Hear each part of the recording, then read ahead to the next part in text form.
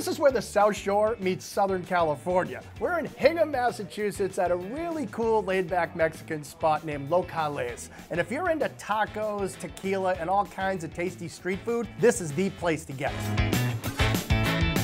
Everything about this place is just fun super casual atmosphere, really nice friendly service. They have beautiful artwork and murals on the walls, and the bar is always packed. And even though they have a tiny little kitchen, they are pumping out a huge amount of enormously flavorful food. The number one reason to come to Locales is definitely the tacos. They actually have three different styles of tacos here, and each one is incredible in their own right. The most popular style is definitely the crispy tacos, although these look a little bit different than you might think. You have a fried corn tortilla, and that is wrapped inside of a soft tortilla, and there's a layer of cheese in between. When I go for the crispy tacos, I'm going for the steak, the carne asada. The steak is tenderized and marinated, so it is absolutely perfect to eat. And here's what I love about the crispy tacos. They're actually all wrapped up in like their own little taco blanket. Look how snuggly and cozy it is. You just unwrap it a little bit, take a bite.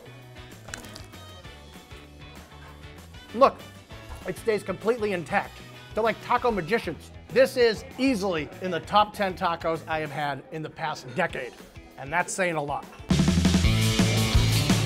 Now the soft tacos, I have a soft spot in my heart for. I mean, who doesn't love a good soft taco? I like to pack this baby with the chicken, the pollo asada. This is high quality white meat chicken that is fully spiced and marinated so it really brings out the true flavor. Little hint of spice, little hint of savoriness. Put it all together, you got a terrific taco. There's just no other way to say it. Man, that is a serious taco. If you want to keep it real, you go with the street taco. This is exactly what you get from the street vendors in Mexico, up and down the coast of California. I definitely say for the street tacos, go for the carnitas. You want that pork. And I'm talking a big old pile of pork. Now this pork is cooked over hours and hours. It's slow cooked with chilies and some citrus and oranges. So the flavor is just bursting. And I will tell you this, it is crazy juicy. Oh yeah. Ole. Delicioso. Now the man behind the menu here is Brian McLaughlin, the owner. He worked in San Francisco for many years, and that's where he learned about Mexican food and the Mexican culture, and that's why he decided to bring it back here to the South Shore. He knows that Mexican food is a lot more than just tacos, so the menu offers more than just those tasty tacos. When you sit down in a Mexican restaurant, what's the first thing you do? You order a margarita, you want your chips and salsa.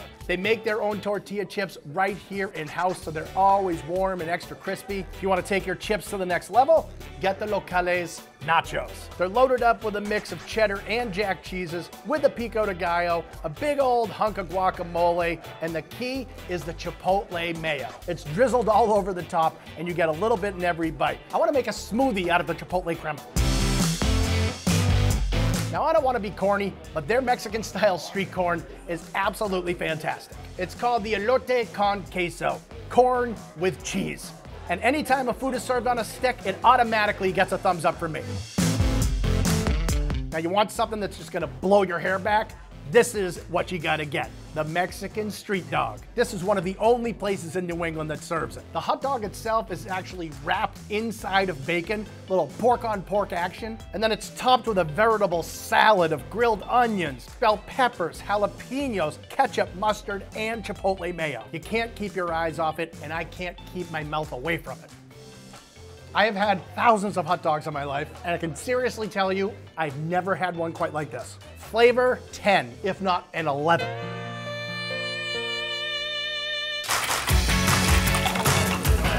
A lot of people come to Locales not just for the food, but definitely for the drinks as well. Lots of tequilas, lots of mezcals to choose from. Number one drink I think you gotta try is the spicy mango margarita.